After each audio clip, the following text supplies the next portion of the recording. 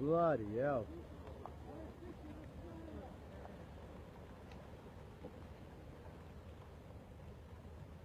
Oh, he's got one down there.